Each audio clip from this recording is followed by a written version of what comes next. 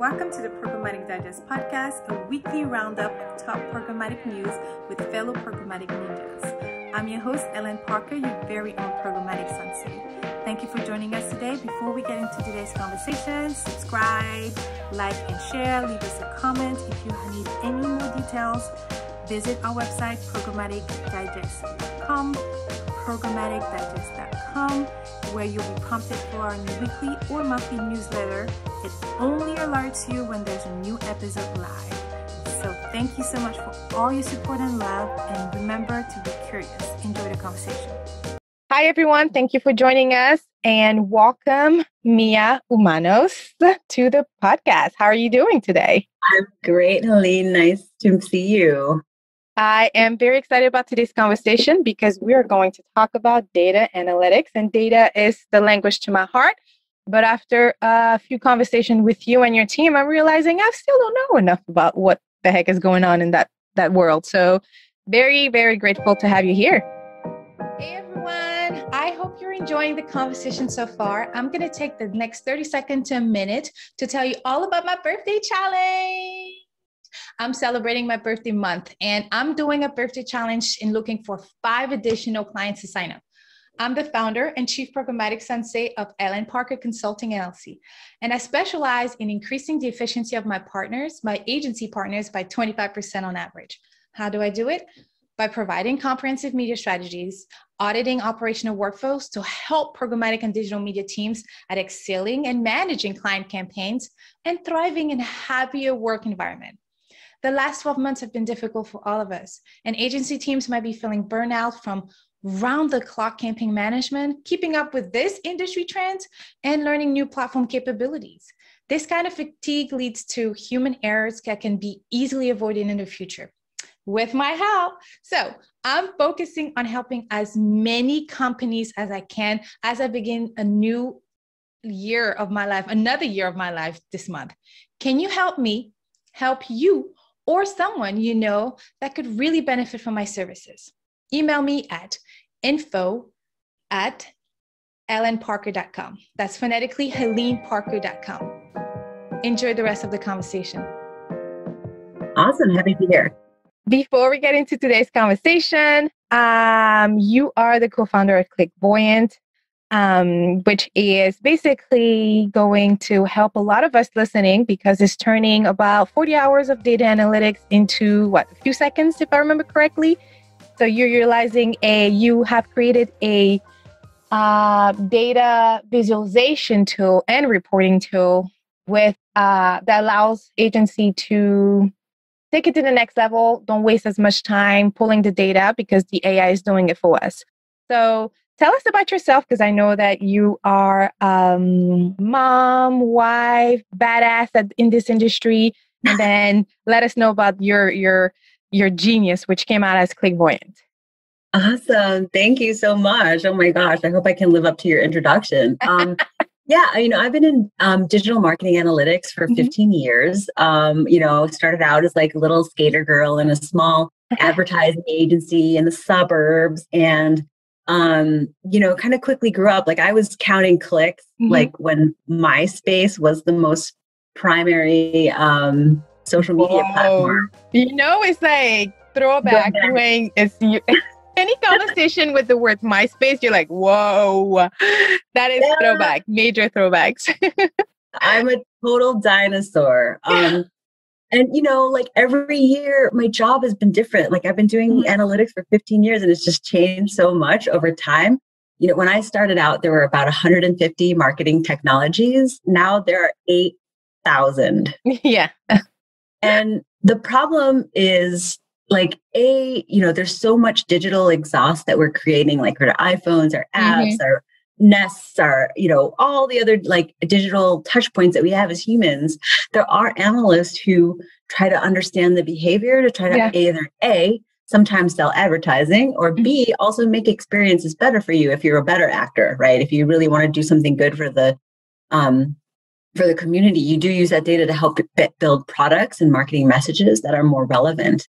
Um, but that data, you know, can only be analyzed with somebody by somebody who has statistical research chops. mm-hmm. and not many of us do.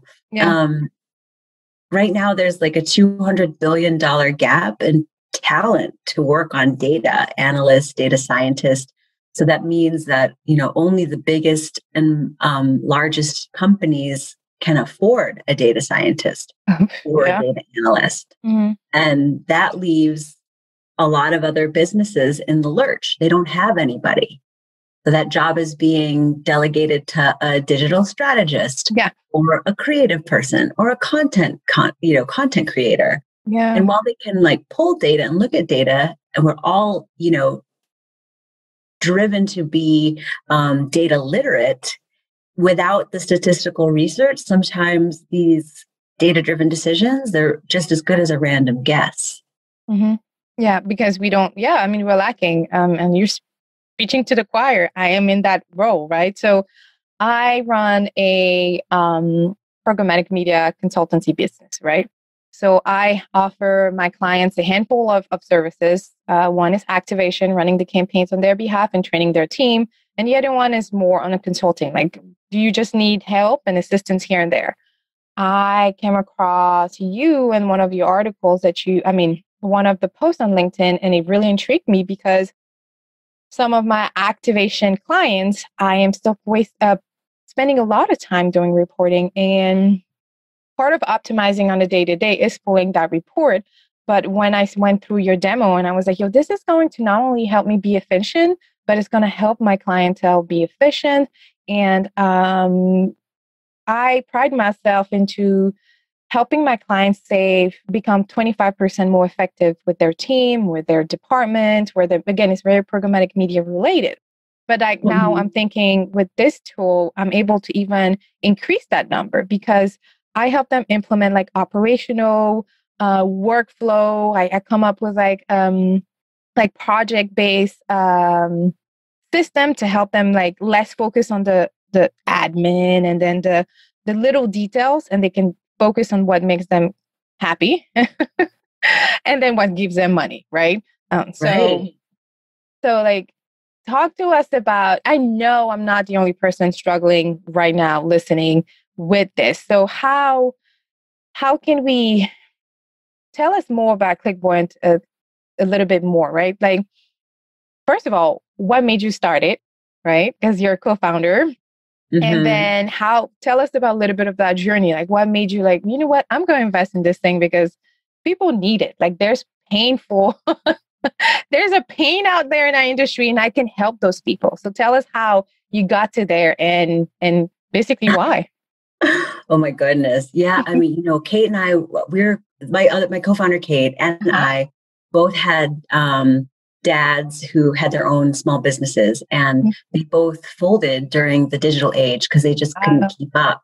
Yeah. And now, you know, like similarly, you know, there's like all these small businesses that are struggling. It's like yeah. post pandemic, depending mm-hmm. on like who you were. And, you know, we see our own experience in working for Fortune 500 companies that mm-hmm. were making millions on insights you know, wow. about what people are doing. What are they clicking on? What do they mm-hmm. like? How do they need to see this message? And that is making so much money for them. And it's like all these other companies, there's like 3 million small businesses with either ad spend or e commerce that mm-hmm. don't have anybody like me. Mm-hmm. And so, you know, the sort of like humble beginnings that we have, like we didn't come from anything. I'm an immigrant's daughter. Like we, mm-hmm. you know, I'm, we're just, we're down for the little guy. And yeah. so, um, this like you know the, the, other thing about kate and me like we're both kind of unicorns in the industry where we can understand the data but also tell the story and also collect the data and understand the data architecture mm-hmm. so soup to nuts we can do it all and like over a 15 year career people are like you should just clone yourself. Like if you could clone yourself like that yeah. would be badass. Yeah yeah. I'd love that too. And that so we yeah we we we did it. We just programmed our intelligence into this ai that that analyzes raw marketing data the way that we would do it. Gotcha okay. and um you know i mean if you look at her linkedin my linkedin we get track records of like making it rain wherever we go so yeah. you know we program that into this ai to like get that ai to like small businesses if you're making less than 400,000 in annual revenue, all companies can have this for 50 bucks a month. Wow. So it's like, you know, it's like having an analyst in your back pocket. I mean, they, you know, normally companies like or agencies will charge like $300 an hour. Yeah. Even a freelancer who's really good um, is like a hundred dollars an hour. Yeah, I, I looked into some of them to help me. I, I needed help to just I don't know, do do something. I wanted to. I, I'm all about working smart, not hard. Not because yeah. I'm lazy, but because um, I have a whole life outside of what I do.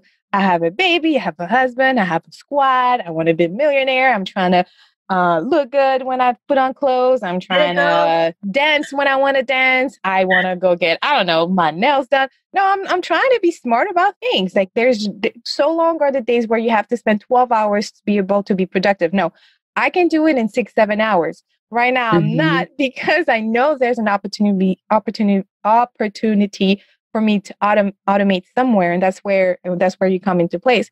So I'm really oh, happy yeah. in the fact that um, you were able to clone your brain into something that I could use. And I'm actually testing for those uh, who doesn't know. So I'm in the midst of testing it for some of the clients, but also for myself because I'm building this podcast and I want to build a community and I want to be able to continue increasing this platform for those that, like you said, may not be little guys, but may not have the platform of the the big New York or Los Angeles. I always shit on them. I'm sorry, but I'm always shitting on the big agency. I've worked with them, but just so you know, they yeah. are great people. But there's a Definitely. lot of us out here, right? For real. I mean, there are there are like I don't know thirty thousand agencies in the world, mm-hmm. and almost all of them are small, like you, like me. Mm-hmm. Um, I came from that big agency world, and you know they're run by finance. Yeah. They're not run by they're not run by you know people who want to have the best ideas or people who want to like you know, change the world. They're run by the finance department. Yeah. And so for me, like when I was an analyst, it, the most painful thing was like analytics would be cut from scope because A, it was too expensive. You know why it was too expensive? Because we're expensive. But then mm-hmm. also the agency need to make a margin. So they mark us up like 200%. So we were $300 an hour. So, you know, what when yeah. the SOW come for like a redesign or media plan, analytics first they get cut. Yeah. So analytics know, and creative. I don't think we give analytics and creative a lot of love or the flowers that they deserve. Like I've worked with on several projects very recently. That's that we're not talking about last year or pre-COVID problem, y'all. This is still happening. I've worked mm-hmm. with agencies in the last six months that don't wanna invest in creative scope or analytic reporting. Oh, I'll just get a report, a raw report. But okay, cool. Let me schedule that. That's cool. No big deal. You'll know how to translate. But then I'm finding out that I still have to help translate some of this data. Is this good? Is this bad? Mm-hmm. Well, then you mm-hmm. need to invest because that's an additional time. Um, and so at the end at the end of the day, I'm doing what I'm doing because I, I I know I can help, and that's my whole purpose. But ultimately, it goes down to that breadwinner, right? Like you got to be smart, and you have to make sure that you're you're spending the time you need and mm-hmm. oh, you got to invest in your analytics team. Like really? Oh yeah, absolutely. Well, and that I think like making that inexpensive mm-hmm. allows people to see what the value you get. It's like you know, it's easy to be like. Yeah. It's also like you know, I don't know, investing in like um in your in like your dental care you know, oh. like I'm like investing the time to like get that like every six month cleaning or blah blah mm-hmm. blah. You know, like that. It may not always be. Sometimes it's a finance, it, like it's a financial investment, but a lot of times it's like a you don't do it, and when you don't do it, you realize like the repercussions later. Like you mm-hmm. got to get all this work done. So in the same way, like you know, a lot of our analytics sometimes even illustrates the value of creative. Mm-hmm. So when we yeah. do analysis, it's always it's not just like what's going on with the data, but it's like what's going on with these creatives right? What's going like which ones are performing best and which ones are not performing as well, which mm-hmm. ones have the best ROAS, you know, and like that analytics shows the value of design. Mm. What is the ROI of design and the mm. ROI of a creative message? Yes. So when you cut both of those two, you're yeah. complete you're flying completely blind. Mm-hmm. Or like Avinash Kaushik used to say, "Oh, you're using like you're you're you're making decisions by the hippo which is the highest paid person in the organization wow like, that's for real. me yeah. you know there's I, I think we're beyond this now, but there was a time where like creative and data were sort of like, you know, contra oh, each other. Oh yeah, like yeah, for sure. For sure. But I actually think that you know, we come to a place, and especially with me and Kate, like we've come to a place where we work with creative to know, like, well, this is a listening exercise. It's not about data performance, it's a listening exercise. How do people behave? How do they react? Let's test it. And like, I work with a great agency, one of our clients, um, DVXD, holla, uh, hey. they're in but they're like a UX company and they design websites. And so, like, with them, like, we're able to increase revenue for the clients by looking at data, creative, testing it, seeing what the data says, coming back. And they don't have an analyst in house. They use Clickvoyant plus a couple hours from us. Wow. That's that's like the that's amazing. I mean, this is this is exactly what we need to hear. This is exactly this I think is a tool that is so needed into in in our industry. And we're and we're not saying like, oh, you're your data analyst, use Clickvoyant. No, no, no, no. We're just saying that you have to make sure you invest in both. Like, oh yeah. Think, so what I like to say in programmatic media is that um, it's like a train, right? Um, the train can go from A to B without because there's like it's a straight line. It can go from A to B, but you still need a conductor, right? You still need a conductor just in case ish happened, just in case you need to make stops here, and that mm-hmm. any every stops represent a targeting levers or optimizing that targeting levers, right? Um, so do you think clickvoyant um, could be compared to that analogy? Like you, it's the train. It could be run by itself, but you might still need somebody to like, um, I don't know, set it up or um, QA it or sexify the the the report. Even though some of the report that I've seen in your demo was like super sexy to me, um, but do you think that that makes sense to explain it that way? Oh yeah, for sure. I mean, just like programmatic, you know, mm-hmm. I mean, there's also a little bit AI at work there too. Yep. You know, trying to uh, like understand and learn the audiences, but you know, sometimes like robots don't get it all right. like they uh, they don't know everything about people.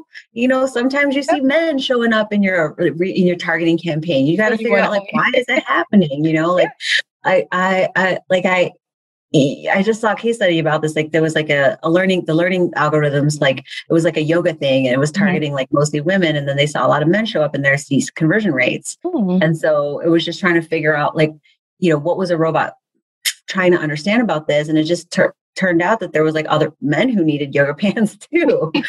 so, you know, and so they made a whole new line out of that. And that is exactly like the kind of thing like, you know, like Facebook algorithms are not going to be able to tell you what's going on. You need that conductor as mm. it to go with your analogy. Yeah. With Clickvoyant, it's kind of a similar way. Like what it does is it ingests all the data from Google Analytics. Mm-hmm. It looks at everything from traffic channels to campaigns to pages to device types to audiences and okay. finds like this wide breadth of insight that's going on mm-hmm. from channel to uh, conversion.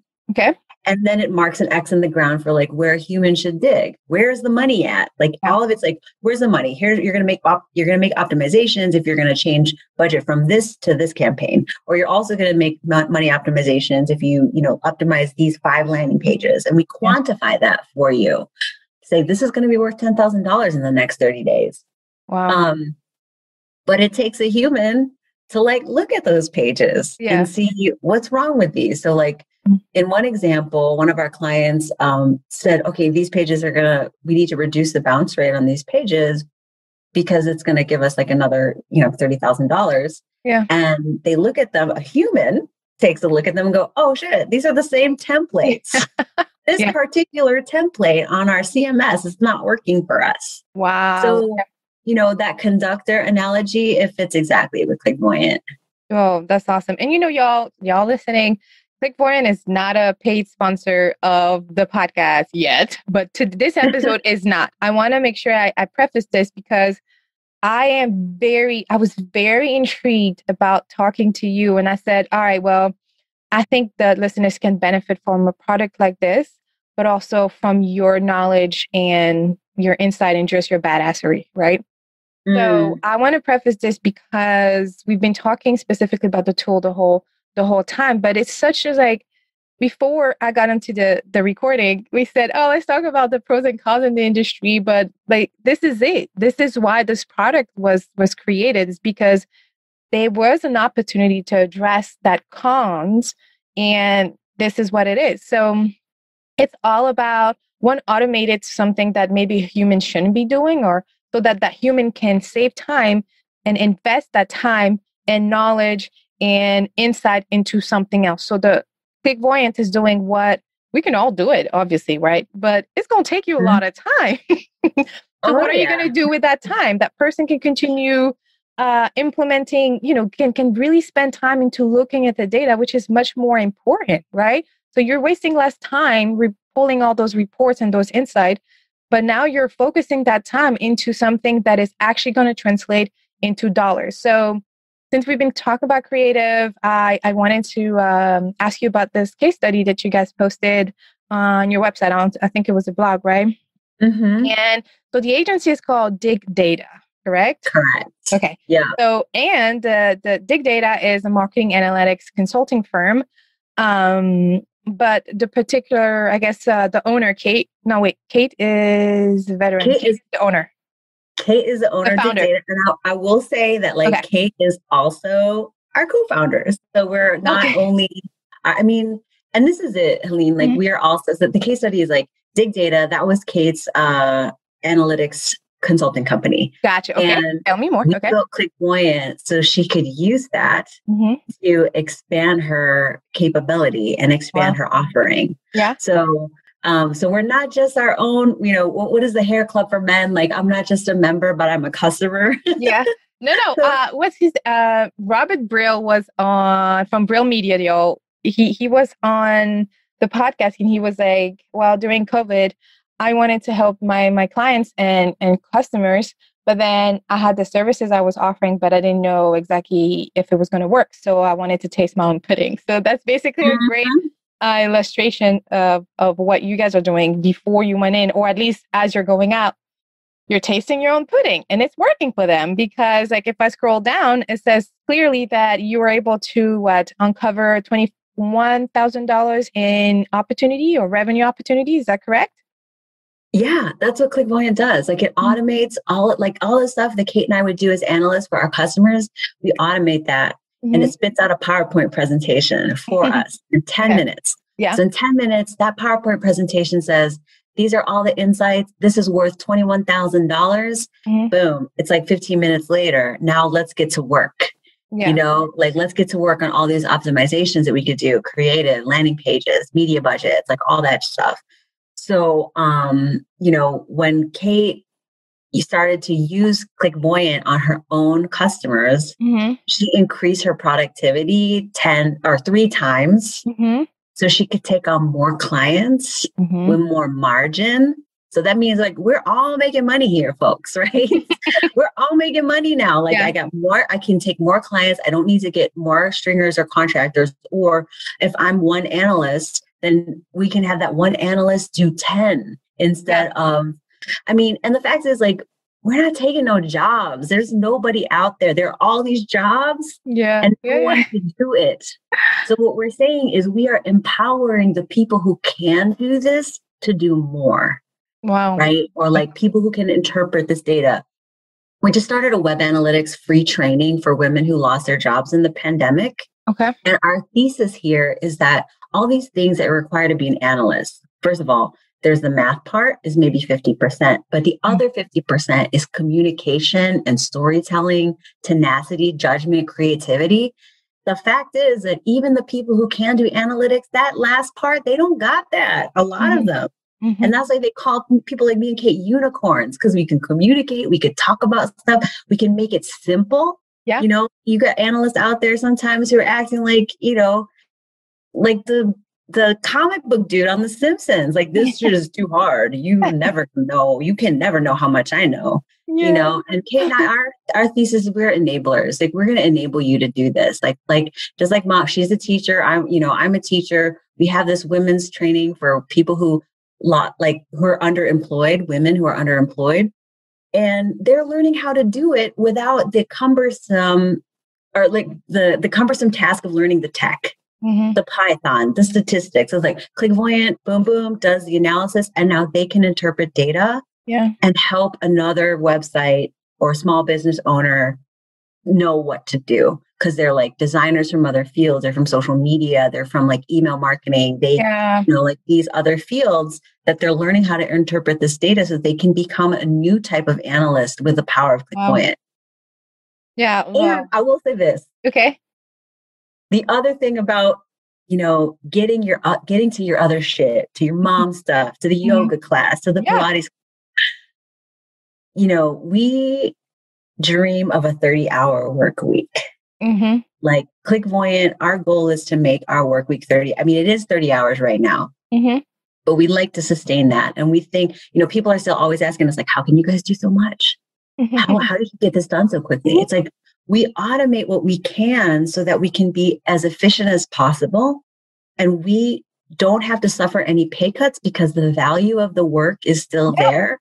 But we can work for 30 hours a week and do all of our other shit. Straight up, straight up, it's straight talk. I've been working for what myself and at home for I don't know, three years now, two years and a half, give or take. And I've had the most productive days working here because I time block and sometimes it's just not um and sometimes it's just not um what I'm, what I'm trying to say it's not realistic for for some people that are more like client facing sales you can't just time block and do your okay I understand but I I can be so much more productive in a six hour time frame than I was mm-hmm. in an mm-hmm. eight to nine hours in an office like there's oh, yeah. a lot of BSing happening in the office. Like we were talking For all real. the time, getting some work done. So mm-hmm. I fully believe in. I don't know which Facebook post is was, and of course, if it's on Facebook, it's legit, y'all. Um, I'm kidding. Uh, it was a it was a post about one European country that had that went down to four day a week. I think it was.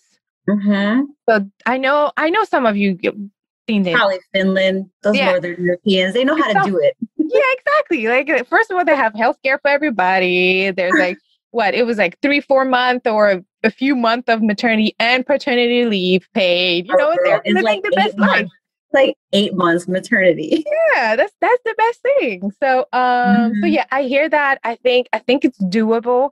I I you know, again, it's hard at this time because of what happened but I just want to encourage whoever's listening that you if you're if you're not like in a space of mind where you can receive information and stay productive is because like your person and your heart are not.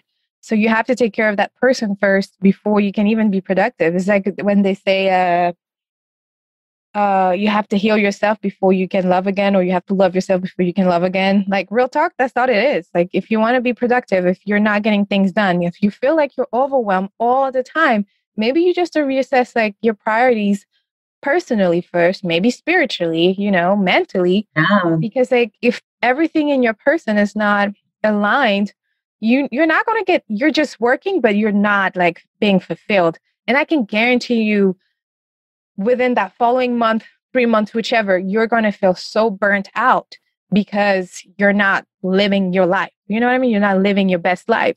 So mm-hmm. I think reassessing your priorities, reassessing your day, um, automating things, reaching out to me about about this this product, like it's a great start.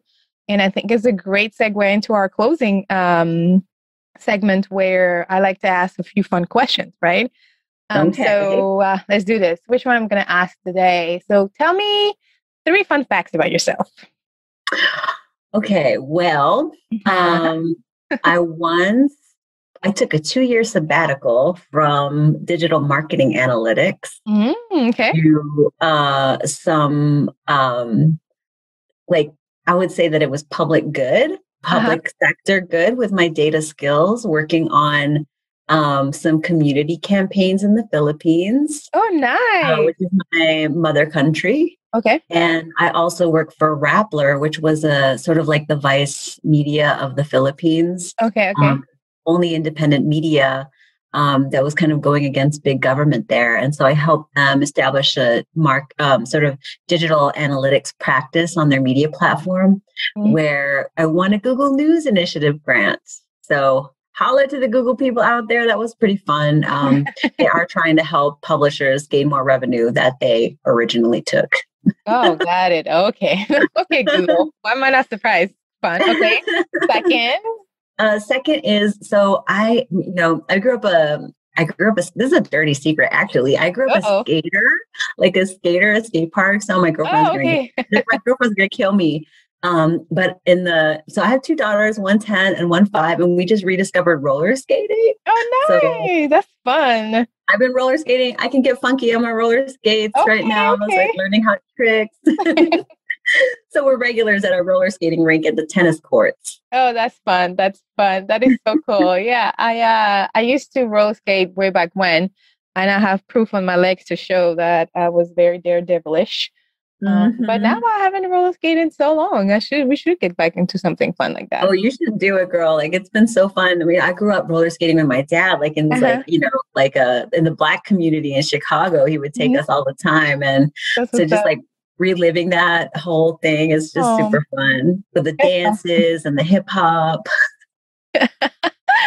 that is so fun. That sounds so great. Yeah. Okay. So I think you owe us one last one.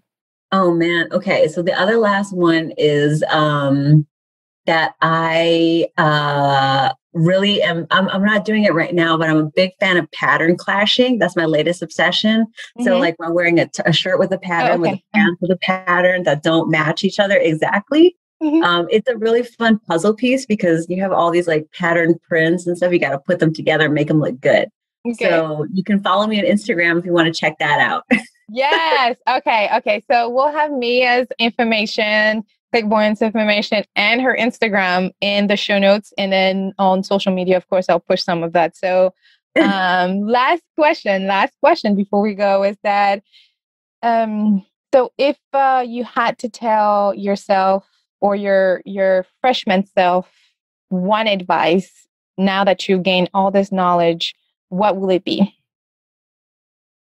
Um, I mean, I would say you know, don't stop questioning whether what we're doing is right. Mm. I think that is something that I've always had. I think at the early stage of my career, I didn't do it as much because I was young. Mm-hmm. Um, but I think if I had, you know, like Clickvoyant, challenging what we're doing about data, understanding mm-hmm. if things, if what we're doing is right, you know, you know that I mean, I know we all know about Cambridge Analytica and yeah. what happened with the elections. And, you know, mm-hmm. there is definitely like a Jedi and Sith of data out there. Um, and so questioning whether things are right is, mm-hmm. I think, something that I didn't do early on in my career. So, you know, I would say, I would say, I mean, I'm vociferous about it now, but if I had been in my 20s, I might have gotten to Clickvoyant a lot faster. Mm-hmm. So that's yeah, wow. Saying. You know, as that technology awesome. grows, we have to keep you know, yeah, questioning mm-hmm. can we, should we, if we can, should we still? Mm, that's real. That's real. Well, thank you so much for coming here and uh, thank you. spreading some unicorn love and insight and knowledge. We really appreciate it. And this is not the last time Mia will be here. But I can guarantee that we have so much more questions to ask.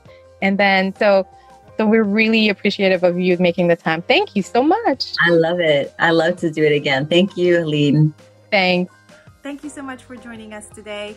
We really appreciate your love and support. We hope you enjoyed the conversation. If you have any questions, feedback, or just simply want to say hi, email us at info at programmaticdigest.com.